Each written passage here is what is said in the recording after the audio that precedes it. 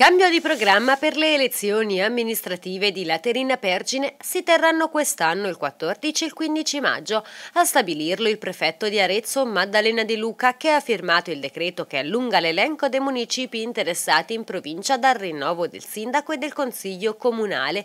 Saranno dunque tre i comuni dell'Aretino che andranno al voto. Anche i residenti del comune, unico nato nel 2018, si recheranno alle urne assieme ai già noti Capolone e Caprese Michelangelo.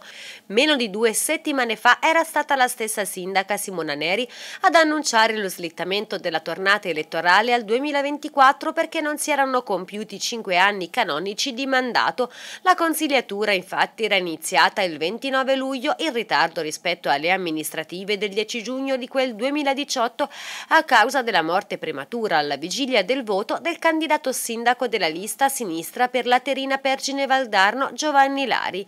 La legge 180 42 del 1991 indica che le elezioni per il rinnovo del Consiglio Comunale si tengono nei tempi prestabiliti se il mandato scade nel primo semestre dell'anno, se scade invece nel secondo vengono programmate l'anno successivo.